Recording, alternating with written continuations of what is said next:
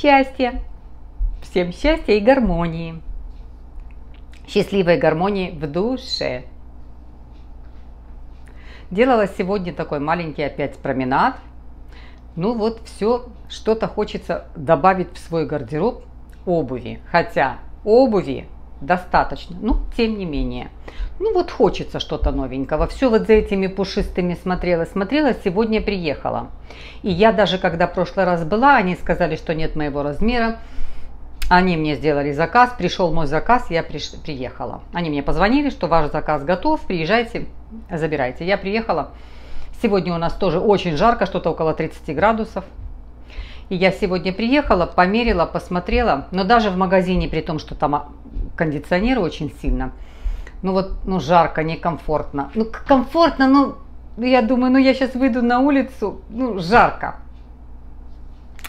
Я сказала, я подумаю я подумаю, что я не уверена, но я подумаю. И я пошла там, сделала такой небольшой променад, я вам его засняла, я вам его покажу. И что вы думаете? Что-то купила и вам что-то покажу. Но сейчас вам, знаете, сделала вот съемку, как она есть. Только что я убрала э, там музыку, которая в магазине нельзя, то шумы городские, я это убрала. Но сделала вот такая, как, какая она есть, чтобы Потому что в прошлый раз делала видео, видео, вы все говорили, Розана, вы так быстро делаете, глазам некомфортно, не мелькает. Сделала как есть. Посмотрите, там разный вид обуви. И я все-таки что-то выбрала. И я вам сейчас покажу.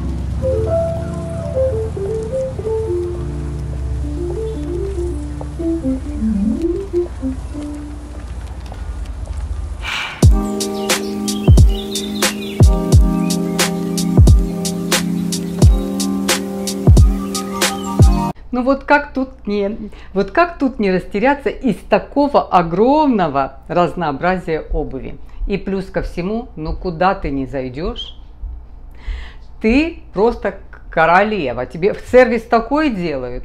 Вообще, я вам скажу, у нас всегда был очень хороший сервис. А после пандемии, видимо, за, э, э, э, за тем, чтобы клиентов своих вернуть, тех кастомеров, которые были, вернуть к себе и удержаться на плаву вот бизнеса, сервис делают потрясающий. Куда не зайдешь, ты себя просто чувствуешь, тебе подходят, тебе объяснят. Если ты не хочешь общаться, с тобой не общаются, но тебе создадут все условия. Вот зашла в один магазин, другой, третий. Тут зашла в один магазин, и такая обувь мне нравится. Я вообще к нему никогда не заходила. Я даже не знаю, когда он у нас в Канаде появился. Может быть и давно есть этот магазин. Из, бразильский. Обувь вся бразильская. Все, натуральная кожа. Все мягкое, все комфортное, все натуральное. Я даже как-то туда особо никогда не заходила. Не зам... Ну, их очень много всяких магазинов. Не заходила особо туда. Тут я зашла. И я стала снимать, думаю, ну я вам покажу обувь.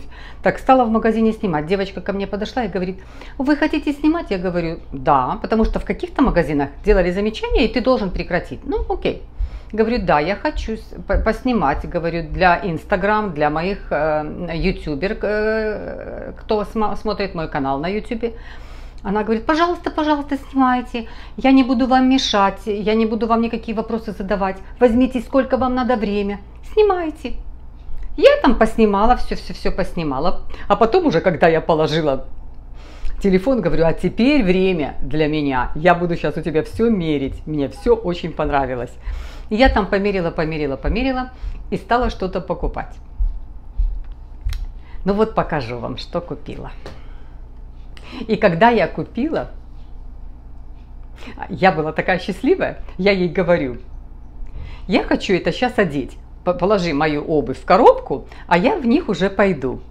Она так смотрит на меня, девчонка.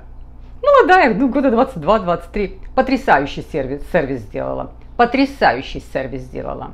Очень профессионально. Я это ей отметила, я ей сказала. Она мне дала карточку, я говорю, дай мне карточку, я твоему менеджеру ноту сделаю, что ты такая профессиональная, ты мне так хорошо обслужила, я с удовольствием у тебя купила. Ну и я была такая счастливая, что она говорит, ой, говорит, вы ты такая счастливая, я тоже хочу такие, я тоже, говорит, себе такие куплю. Так красиво, говорит, на тебя, я тоже. Я говорю, даже как-то так, говорит, тут их много, я их вижу постоянно, и я, ну, особо не замечаю. Говорит, тоже себе такие куплю. Ну вот, смотрите, что я купила.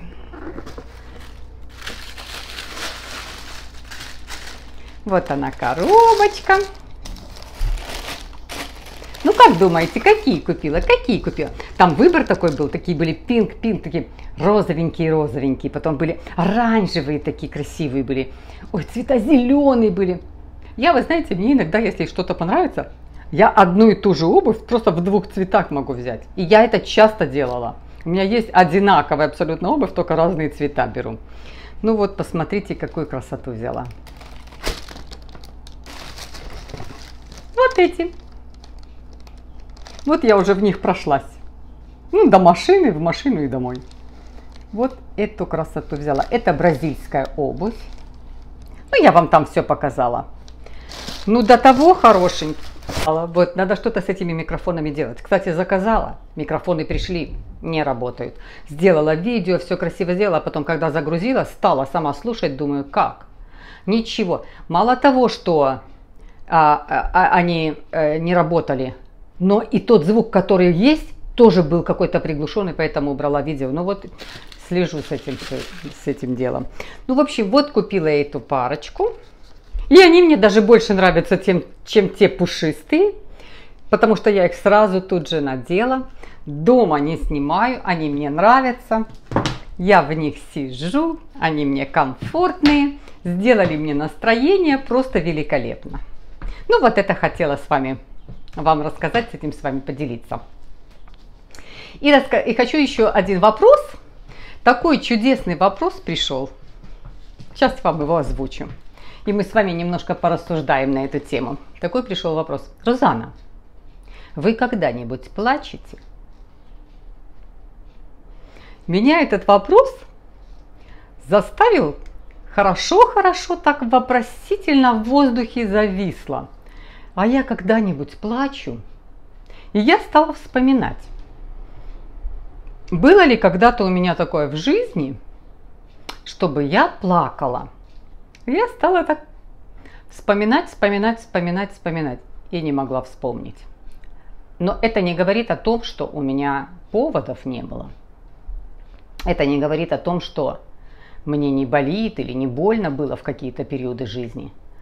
Но чтобы плакать, и скажу вам откуда, я не помню даже с детства, со своего детства, я не помню, чтобы я плакала.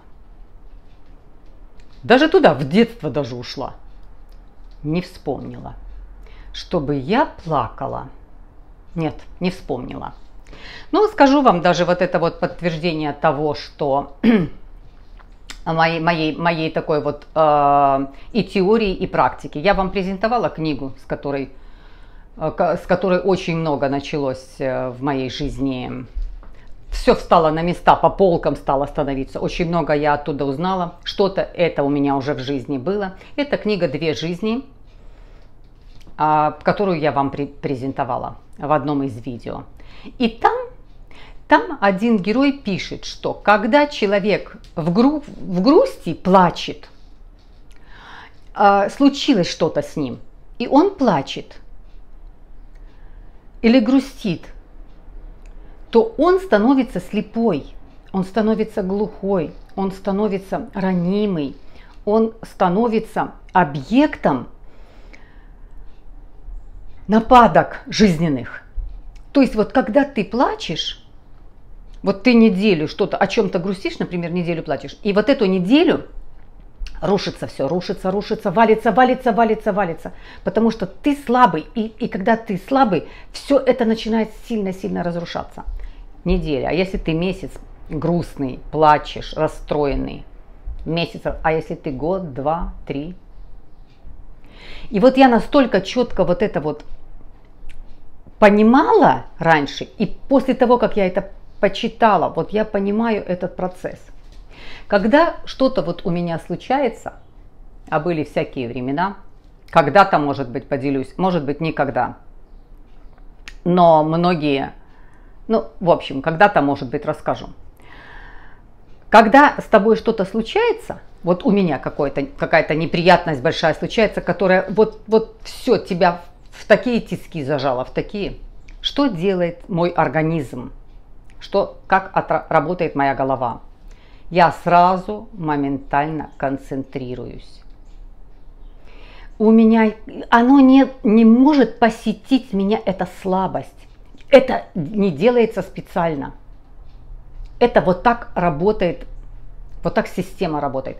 Я сразу концентрируюсь, что я могу сделать, как я могу выпутаться из этого, что мне надо – и часто вот на это, что мне надо, знаете, что сразу приходило в голову и чем я сразу начинала отвлекаться? Я начинала учиться. Вот пришло, казалось бы, вообще несовместимое обстоятельство жизни, которое случилось. Я на второй, на третий день, я выхожу учиться куда-то.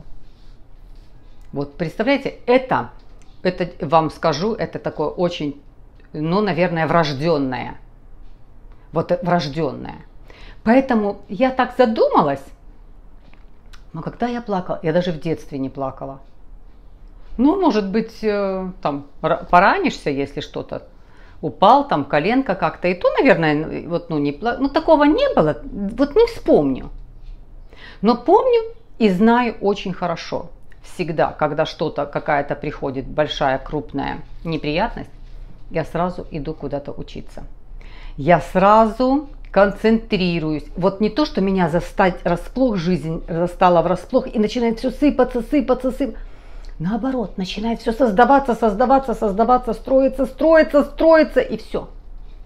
И может быть со стороны кажется, ее ничего не берет. От нее как с гуся вода.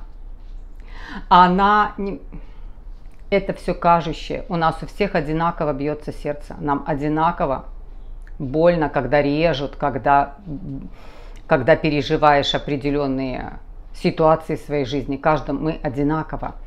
Просто вот, вот так происходит. У меня сразу концентрация. И могу вам сказать, вот так он было у моей мамы. Вот так точно было у моей мамы. Я в жизни никогда не видела маму потерянной, растерянной и, и плачущей. Я никогда в жизни не видела, что моя мама потерялась, растерялась, не знает, что делать и расплакалась. Я вам расскажу один случай. Мы уже жили с мамой вдвоем, папа, папы не стало, папа ушел рано из жизни, мне было 11 лет. Все остальные разъехались, дети. Мы жили с мамой, я осталась вдвоем, мне было уже лет 14-15. Все разъехались, кто где учился, кто куда. Но еще это было, еще это было в Советском Союзе. И мама уехала. Уехала к моей старшей сестре. А, что-то там, какие-то были обстоятельства, и мама срочно туда выех, э, уехала к ней. Я осталась, мне было лет 14. Я осталась дома одна. Я пошла в школу. Прихожу из школы, вставляю в дверь ключ, ключ в, ключ в дверь, а дверь открылась. Я только хотела вставить ключ, а дверь открылась. Я посмотрю, смотрю на пороге огромные грязные какие-то шаги. Я чуть-чуть так в комнату заглянула и поняла, что квартиру обокрали. Но зайти в квартиру боюсь, я думаю, а может там кто-то сидит и ждет меня. Я пошла в полицейский участок, мне было 14 лет. Я пошла в полицейский участок, пришла и говорю, я со школы пришла так и так, мою квартиру обокрали. Они мне говорят, девочка, иди домой, и мы сейчас бригаду тебе пришлем. Я говорю, я боюсь. А вдруг там кто-то сидит, они говорят, нет, если квартиру обокрали, они уже убежали, там никого нет, иди. Я пошла, пришла, правда, никого нет. Я зашла домой, все. А это, это было, знаете, ну мне было, наверное, это потому что, наверное, на следующий год или в это, лет, наверное, 16 мне было. Потому что мама приготовила мне э, на выпускной вечер босоножки купили, мы где-то доставать же это надо было. Платье какое-то мне, мне прислали, нам прислали вещи из Греции, нам присылали. Ну, родственники. Потому что где-то в каком-то видео я говорила, что нам присылали родственники, это не какие-то организации, родные были у нас в разных странах. Мне прислали платье на выпускной, туф, эти босоножечки какие-то уже приготовлены были. И я вижу, что лежит один босоножек. Видимо, коробку, когда брали, взяли эту коробку, несли, и один босоножек выпал. Один босоножек лежит этот мне на выпускной вечер, а второго нет. Ну, короче, обокрали всю квартиру. Ну, приехала там милиция туда-сюда, что-то там все. А мамы дома нет. Мама уехала. Я поехала маму встречать. Когда мама прилетела, я поехала маму встречать. И вот мы едем домой. Ну, мама спрашивает, как у тебя дела, как то, как все. Я говорю, нормально, нормально. А у нас такая была квартира, заходишь, коридор и сразу кухня.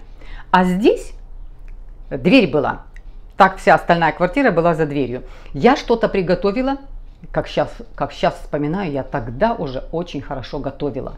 Я что-то приготовила, и мама как сумки вот здесь все поставила на пороге, мы приехали. И мы сразу на кухню, она, я сразу что-то я приготовила, мы стали кушать, что-то чай пить, разговаривать. И вдруг я маме, ну мама мне рассказывает, как она съездила, как там моя сестра и так, и так. И вдруг я маме говорю, мама, у нас большие неприятности. Мама мне говорит, с тобой? Ну, мне 15-16 лет.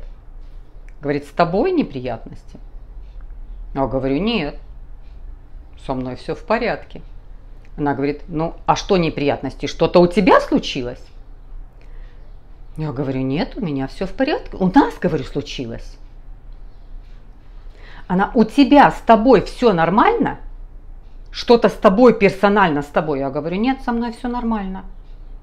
И мама мне говорит, а все остальное я даже слушать не хочу. Все остальное для меня ничего не значит. с тобой все. Я говорю, да, со мной все в порядке. Иногда все остальное меня не интересует. Я говорю, мама, нас обокрали, мои босоножки. Мама говорит, ничего меня не интересует. Я говорю, да, мои босоножки. Она говорит, в старых пойдешь. А мое платье, она старое наденешь платье. То есть, ну для того времени, это был, я заканчивала школу, 75-76 год, я 60-го года, 76 год. Это были, это было состояние, забрали там мое пальто, мою шубку, э, мамины вещи, обувь, ну все там забрали что-то там, вынесли, ну все вынесли, телевизор, что-то там, все вынесли. И я не увидела, чтобы мама потерялась, растерялась. А, а что, а как, а как же наше это, а где же наше то? Вообще. И вы знаете, по жизни потом никогда, чтобы она когда-то про эту, на эту тему говорила. Ну, ну и что говорит? Мне ты в порядке, все остальное, все это, это. То есть, ну да, может быть, это не такой пример, с которого а, но тем не менее, моя мама войну прошла, и моя мама э, большие потери по, по, по всей своей жизни имела. Э, но мы, дети, никогда не видели маму нашу потерянную. И не потому, что ей было, она была, не вместо сердца у нее был камень, или она не такая чувствительная была. Но мы никогда не увидели, чтобы мама растерялась, мама плачет, мама не знает, что делать тоже, то вот то же самое. Я скажу вам, из всей нашей семьи, большой, я как мама. Я одна такая. Ну вот из семьи нашей я одна такая. Вот мне досталось вот это вот мамина. Поэтому на вопрос, Розана, вы когда-нибудь плачете? Я так стала, знаете, думать, думать, задумываться. Ну потому что когда ты плачешь, ты слабый. А ты, когда слабый, все рушится, ты не понимаешь. Оно, знаете, одно на одно начинает на тебя рушиться. Жизнь прям почву под, под тобой теряет.